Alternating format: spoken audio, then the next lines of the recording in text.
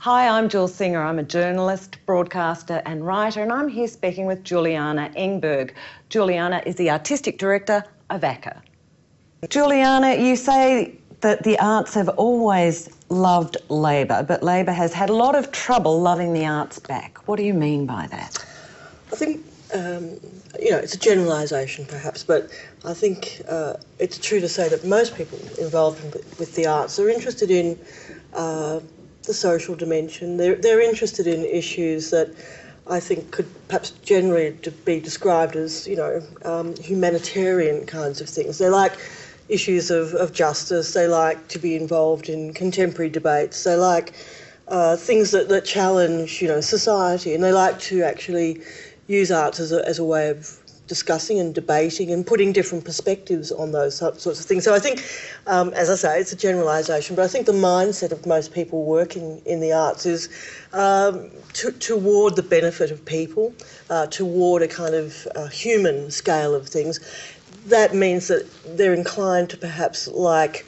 Uh, a Labor type of mindset, which is perhaps more devoted to concepts of social justice, um, equality, apportioning money to causes that would perhaps be called motherhood causes or things of that sort. So I think, you know, the arts somewhat align themselves with Labor, um, not all, of course, but uh, it's also true perhaps that a lot of people think of the arts as being elite.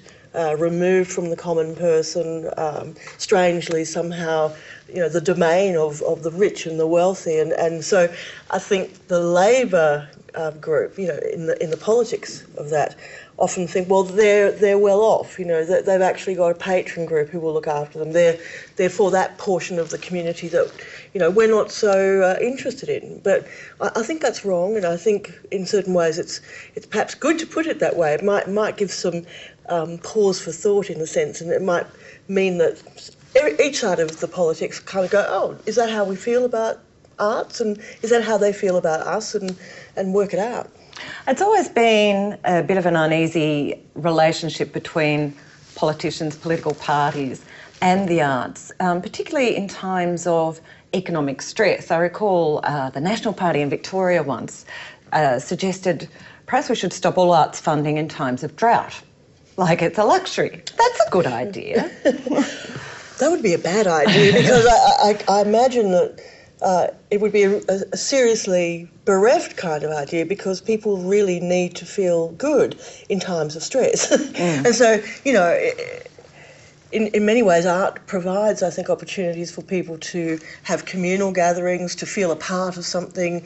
Uh, and, you know, yes, perhaps it won't provide for water uh, as such. It may discuss water, perhaps, and that, that could be good, but it could take you right away from the de- water debate, or it could you take you to some fantastical place that, for a moment, for a little period of time, takes you out of the mundane, takes you to another spot where, in fact, you can relax your body, you can use your brain in a different kind of way, you can enjoy yourself, because you know the arts can be fundamentally enjoyable and they can be diverting to an extent that uh, you know you're, you're, really not thinking about the things that niggle at you you know all of the time. And I think you know to remove arts in order to pay for something else that of course is fundamentally also important is is the wrong kind of concept. You know it, it, it can be seen I think as actually highly beneficial to a public highly beneficial to a group of people who are you know um, suffering in other sorts of ways. I think it's also interesting to look at some of the fixed ideas we have about the political parties in, in a sense that the Kennett government in Victoria, Jeff Kennett was very close to the arts and this was not an expected thing.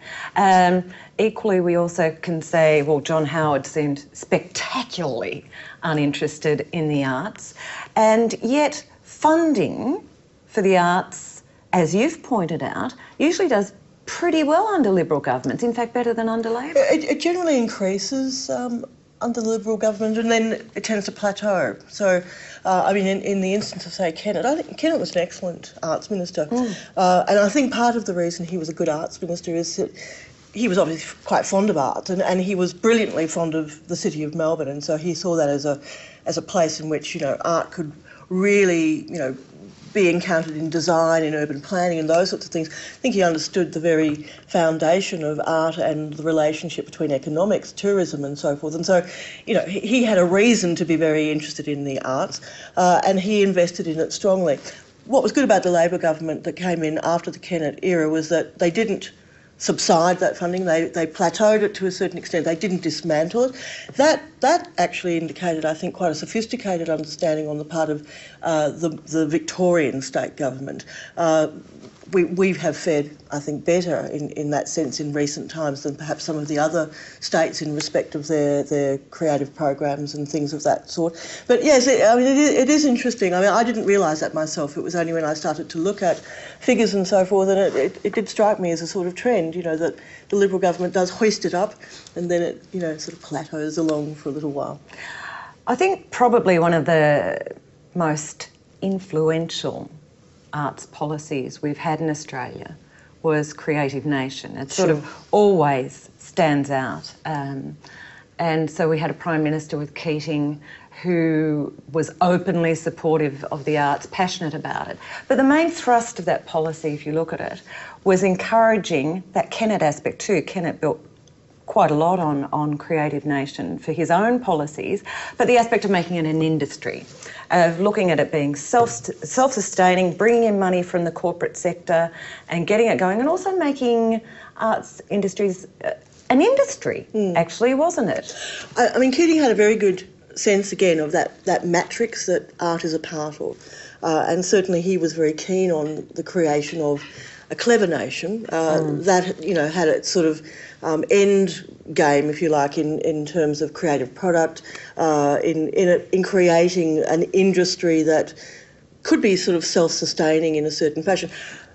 And as a result of that, we all went into a period of um, investigating our own status, looking, you know, really carefully at whether or not we were sustainable as, as businesses. Um, and I think we've learnt a lot through that period. I think it actually was a very good uh, thing to encourage the industry to do. You know, we, we need to, in fact, actually be able to um, work in a sustainable fashion and we need to be relevant to uh, groups around us as well.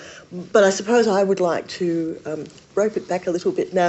I think we've done a lot of that work that was um, prescribed by the by the um, Keating government and taken on by the Howard government. But well, what we now need to do perhaps is um, reorient it a little bit and say, okay, we are an industry, we can sort of perform in, in certain ways that resemble businesses, etc., but we're not a profit business. We never will be, I think, a profit business.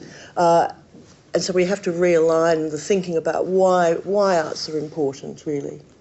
How do you reckon arts organisations are coping with the fact that a lot of this um, uh, responsibility for marketing, etc., comes down to to their own little organisation. We see all the arts organisations now with little pocket guides to marketing your business and things like that, and getting their little target audience and basically milking them dry as much as you can. Yeah. And it's tremendously tough for arts hmm. organisations. Mm. I mean, unless you're a mega organisation such as a, a state gallery mm. or something of that kind, I mean, re- you really work so hard to, yeah. to generate an interest in your um, place, to generate, you know, um, people people who can support you, all of those things, and you spend a great deal of your time doing it. I mean, my institution, the Australian Centre for Contemporary Art, has to raise 53% of its annual turnover. I mean, that's a phenomenal amount of stuff to raise for mm. what is really an organisation run by 8.2 people that's you know really a tough call on such a small group of people, and it's it's also the case that arts organisations are, are, not, you know, parts of a franchise, and so you, you're off doing your own little thing, which doesn't accumulate so well. I mean, anyone who's in advertising would know that you have to make a certain spend to, to gain a certain kind of penetration into the marketplace. It's very very hard for all those small organisations to really accumulate that kind mm. of awareness for their thing.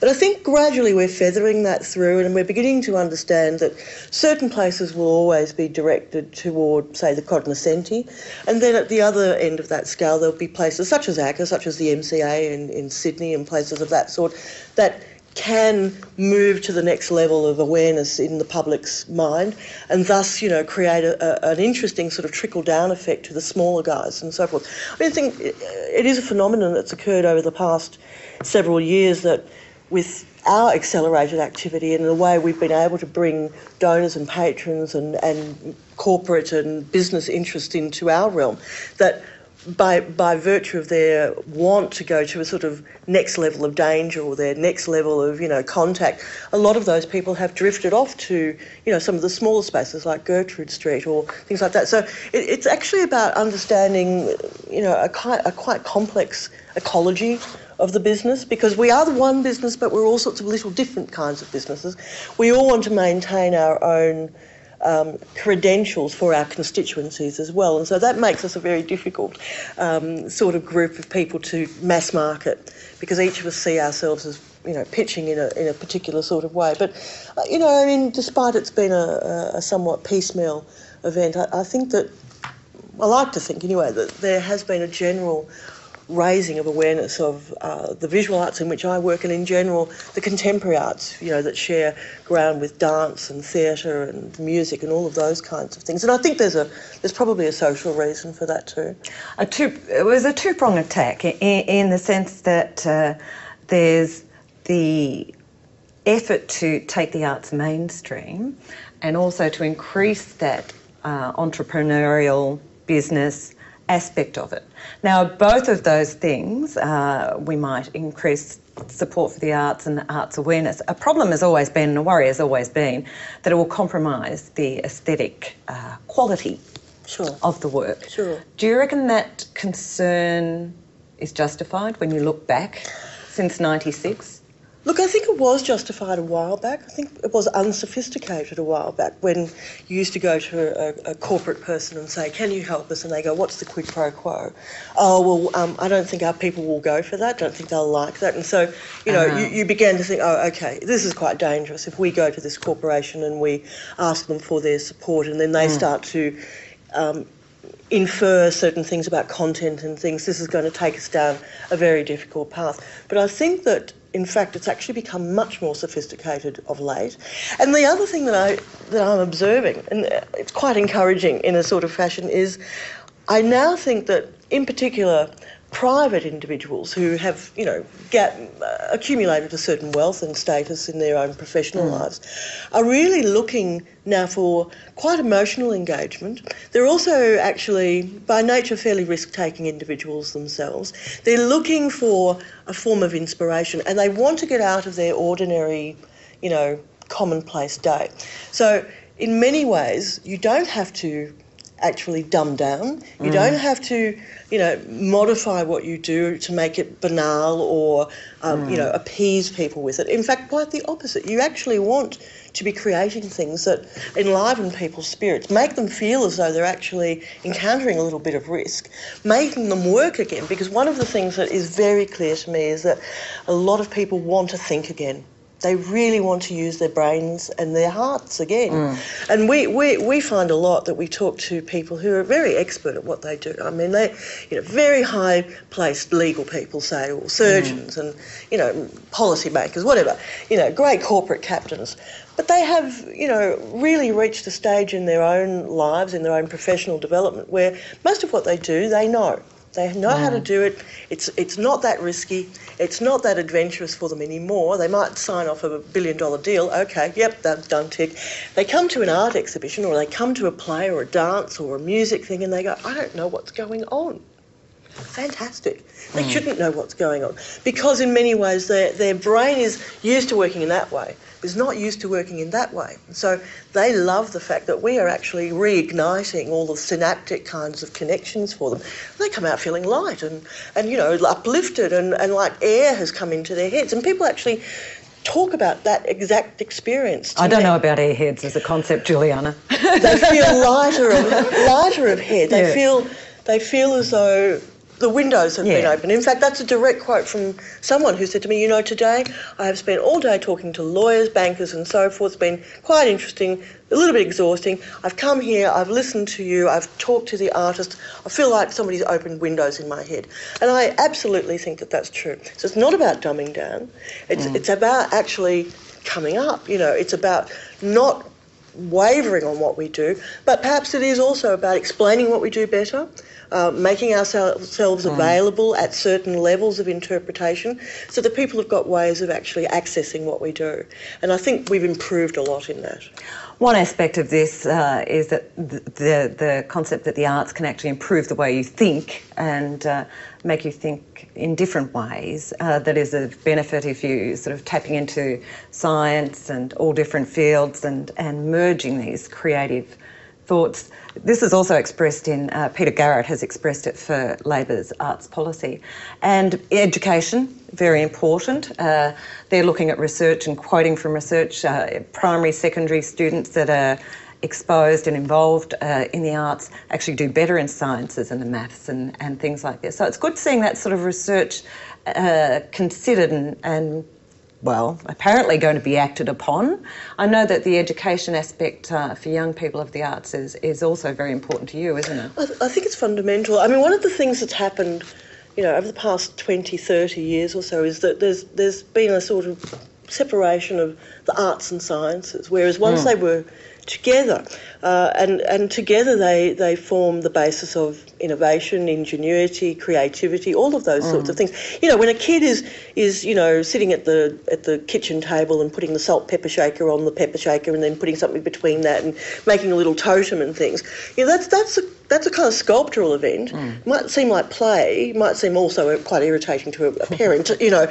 But in fact, what they're learning are things like gravity. They're, they're learning about weight and balance. They're learning all sorts of things. Well, they might go off in, into the, you know, fruity nutty direction and become perhaps a sculptor in later life, or they could in fact actually become a brilliant kind of bridge designer or you know something like that. Those things are still you know cohabiting at that stage in, in someone's creative life. You know this is this is fun.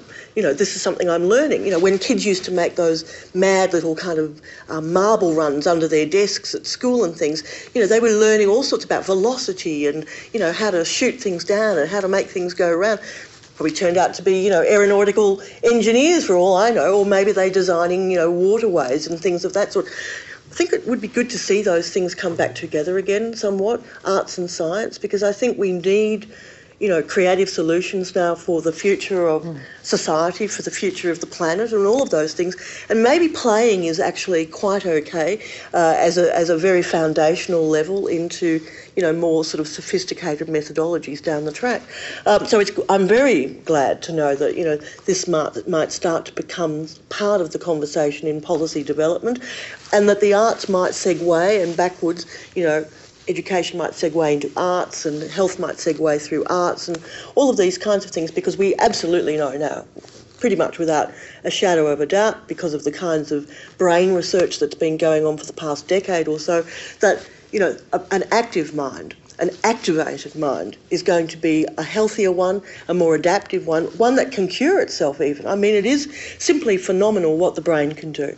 Uh, and, and if we give the brain tools to work with, you know, uh, on a whole level, um, it's just going to be marvellous. I mean, art is great like that because, again, it, it's not a very singular event. If you're watching a dance piece, for mm. instance, you're looking at dancers, but you're also thinking about their movements. You're also encountering the environment in which they're in. You're looking at the costumes. You're probably listening to music. You've got a number of intelligences that are being marshalled to deal with that event. Mm. And it's coming at all different things. And they've, they've done that mapping. They can actually see when you look at dance or he's hearing music or you're looking at visual arts that a whole range of synaptic things uh, you know, sent forth, you know, marshalled forth. Go hither and l- learn and listen and work this out. And that's why art is, is so important because it actually creates brains that are much more agile in a certain fashion. It's what some people call the peak shift experience, where you're going through fairly normal levels of apprehension, comprehension, and then thing, something happens, you go, ooh, what was that?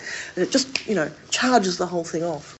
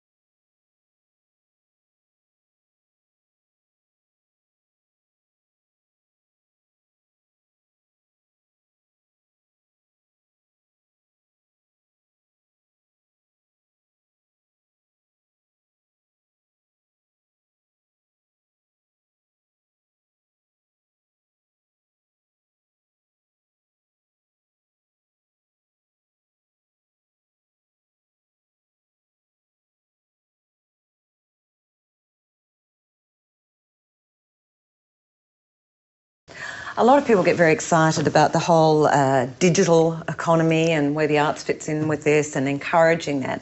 And uh, I wonder, though, if, if this is necessarily the best way of introducing children to the arts. They get a lot of exposure to digital Yeah. technology, and I just wonder if um, they're perhaps going to lose out if they don't have that touching, feeling, direct experience of, of creativity. Yeah, I, I, you know, look, the digital will cohabit, I think, with the mm. actual. I mean, obviously, it's going to have to in a certain way. Those clever people in places like Nintendo and stuff are really developing a lot of product now that actually mm. recognises the the digital.